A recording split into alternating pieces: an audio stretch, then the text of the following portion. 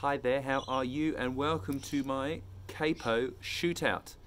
This morning in the post, I got this uh, brand new capo. It's a Performance 3 guitar capo by uh, G7th. Um, looks pretty cool. It's black and stuff. Uh, I've been using these for about a thousand years, this Shubb capo. Um, what happened recently, I've actually got two, uh, and one of them died.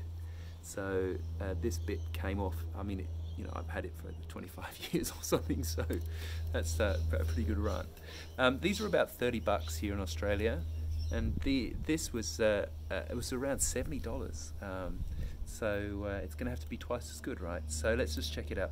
Now um, I've got my guitar in regular tuning here. I checked it before uh, we kicked the video off, and it's uh, it's pretty much perfectly in tune. Um, so uh, with this, this works really, really simply. You basically put th this part on the strings, right? And uh, this bit holds the back of your guitar. The rubber is is is kind of a bit fingery. The thing with those kind of big clothes peg style ones, I find sometimes the rubber can be a bit a bit hard and actually can push the guitar out of tune because you know effectively it's pushing really really really hard on the strings and therefore then you need to retune your guitar once you've put the capo on which you know is a bit of a pain but when you're doing gigs or you know I've played um, lots of companies companies uh, I've accompanied rather lots of singer-songwriters and, and and you know I've been moving the capo around and it's a real pain when you have to kind of constantly rejig stuff. Um, so let's put it on here. We're going to put it on the third fret today.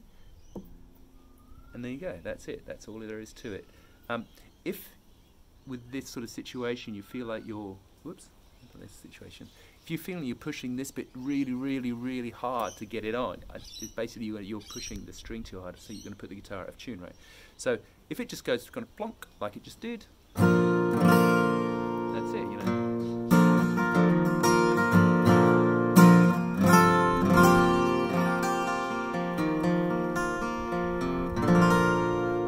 Oh, man, I love this guitar.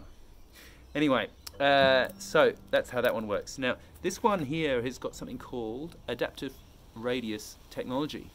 Um, it says here on the packet, which revolutionary new active string pad infinitely adapts to match any guitar perfectly. Wow, that's pretty epic. So let's uh, let's put this on. I wonder if we might put it that way. Let's see. Oh, maybe we won't put it on that way. But anyway, I'll explain why in a second. But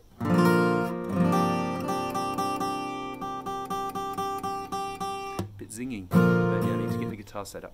But um, the, the capo is working perfectly. Let's uh, see how the tuning is. Yeah, that's good. Yeah, really good.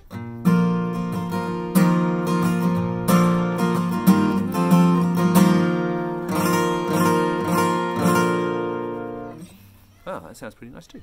Okay, so how we get it off the guitar, you see there's this, easy fellas, easy. Uh, you see this little button here, and so all you do is you just push it and it releases. So we got it there, there it is, you push it together, it clicks, and then you just basically pull that thing and it releases. Let's do that again. Push, and then see if I can do this without dropping it. There you go. So you just basically push this up towards the bit that touches the guitar and it just releases really quickly. So you can see that you can imagine that if you know, if you're, where we got here, playing the guitar, we just need to squeeze it and that's how you put it on.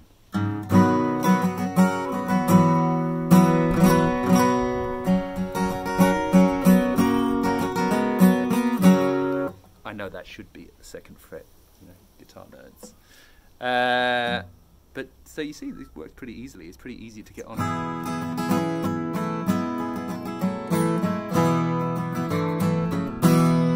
Pretty good, I reckon. Pretty good. Uh,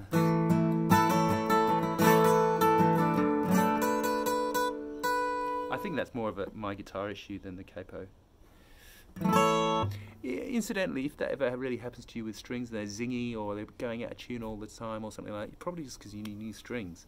Um, the thing I find is that nowadays I use Elixir strings, which are absolutely amazing. They last forever. Um, that's kind of part of the problem though, because you know once they're dead, they still don't sound that dead. So, uh, but you still need to change them. Um, uh, a little top tip is when you change the strings, keep the case that the strings came in, write the month and year in which you changed the strings, and hey presto, you will always know when you change the strings. It's easy to forget.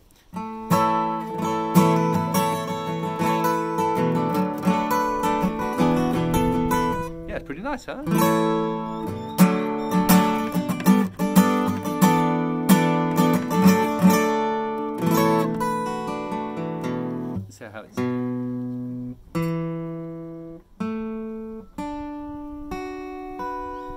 Pretty good.